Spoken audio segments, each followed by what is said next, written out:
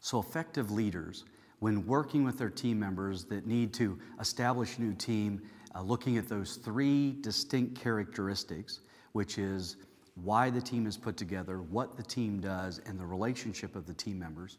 Uh, traditional leadership or management skill sets would come in and we would say, here's what uh, the team needs to do, here's how the team's going to do it, and here's what the team should produce.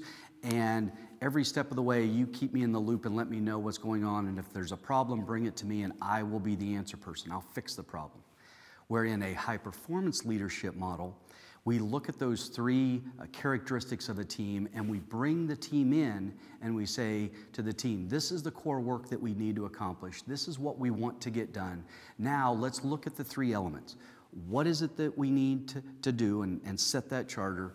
How are we going to uh, establish the outcomes? And then what's the relationship going to be? And an effective leader empowers that team to come up with that operating system on their own with guidance from you so that they take ownership of that model.